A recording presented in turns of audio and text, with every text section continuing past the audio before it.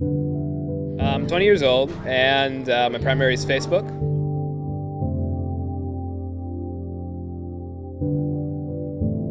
I use Facebook, Pinterest, Twitter, and Instagram, but that's linked to Facebook.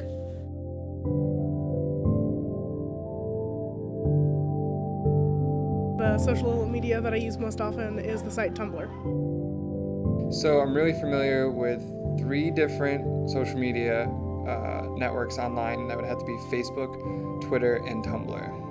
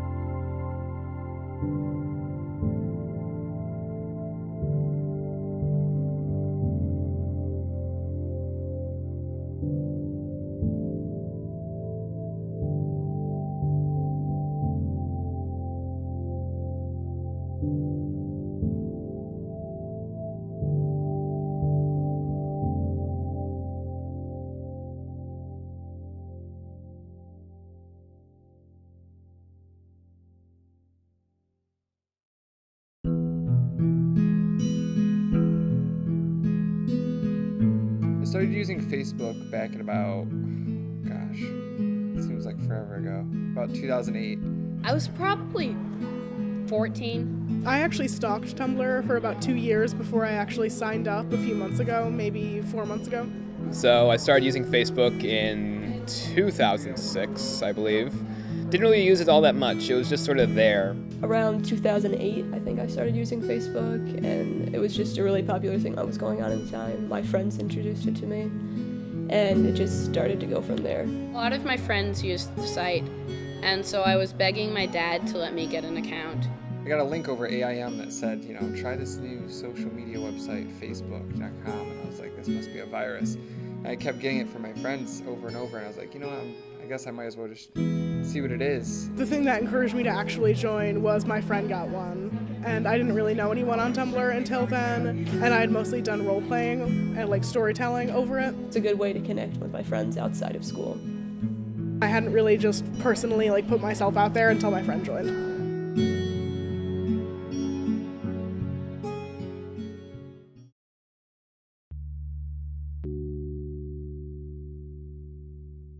My primary use for Facebook would have to be keeping in contact with professional sources that I've made out in California.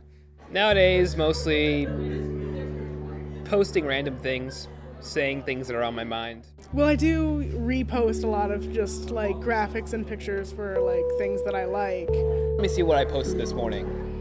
Gunships make the best daycare nurses. I go on a lot when I'm bored. I think Facebook wastes a lot of my time. Uh, I mean, I don't post that many, many things on it anymore. Right now, since I'm away at college, I use it to stay connected with my family and to let them know what I'm up to. So it was a good way to connect with my friends outside of school.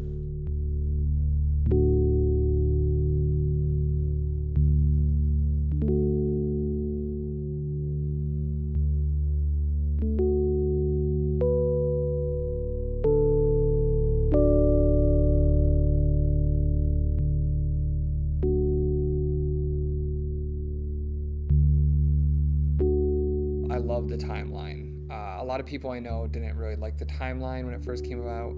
Uh, the timeline, you know, makes it so your events are more uh, streamed in a, in a vertical sense where you can go and check back in, and, you know, at a certain year, a certain month. It seems to pop a little more too, in a, sense that it, it focuses a, a lot around pictures. I think that it's a little less invasive than other sites because you don't have to share anything that you don't want to. You don't really have to give any information that you would have to on Facebook or My Life or anything like that, so you can just say whatever you want.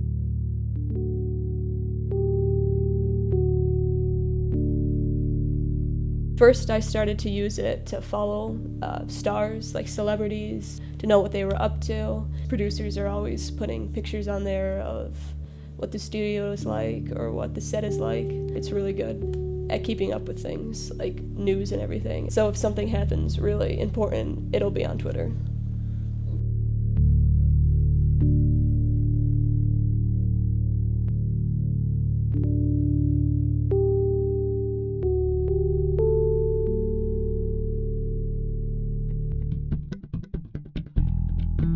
When I was out in California, um, we learned a lot about how social networking can really help you create professional connections with people that you might have to work with later on. A little while back, uh, I made a connection with a man by the name of Will Keenan out in California who works with Maker Studios. And uh, you know, I kept in contact with him, found him on Facebook, you know, liked his his studio page as well. One of his uh, clients, Ray William Johnson, who uh, he makes, he helps produce and create some of his videos for his Equal 3 channel, uh, was tweeting on, on Twitter about how he was going to be Skyping with, you know, some of his fans. They just had to leave their Skype name. So I left my Skype name, and then I went to Facebook, and I saw that Will Keenan was on, and I said, hmm, well, let's see if I can contact him. So I typed into Will, I was like, hey, Will, you know, uh, I met you out in California. Hopefully you remember me. Uh, I think it'd be really cool if you could have, uh, you know, Ray William kind of have a, uh, have a chat with us, seeing as you know we came and saw your studio and we really loved it and everything. And uh, I got a reply right back said I'll get right on it. And I get a Skype chat within five minutes saying, "Hey, are you uh, willing to talk with Ray still?" And uh, we had a Skype chat with one of the top YouTube subscribed uh, stars on the internet right now. Uh, being able to have that kind of connection with someone who's thousands of miles away, um, a phone call might not have done the trick because you know he could have been busy. So Facebook, again, that instant gratification of being able to get something right away, um, it has that incredible ability. There's one story I can remember about Twitter that was really cool for me. I follow a lot of bands. One band I follow called We Are the Fallen, who's a slightly lesser known metal band. One day I logged onto Twitter and they had started following me. And I thought that was really cool.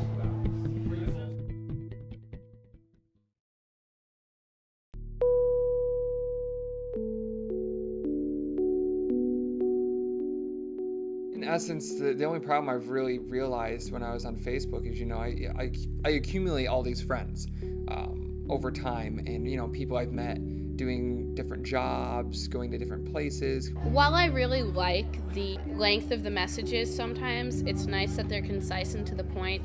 Sometimes it's annoying to have to stick to 150 characters. But the one thing that I've noticed is, you know, over the years, you know, I'll go into my friends and the faces seem to become less and less connected. I'm like, who where did I meet this person or where did I see this person? I wish there was easier ways to sort of block people because certain people are just annoying and you want to stop seeing them. You have to break tweet- tweets up because of the 150 char- character limit. So if you would like to post something that's really long, and I see a lot of stars that are addressing a comment like something that's going on in their lives, they have to break it up. And see someone like Justin Bieber posts something, it just stops at the end if it's a 150 character limit, and then somebody else will post something, and then Justin Bieber will post it again, and that definitely is a, a con to Twitter.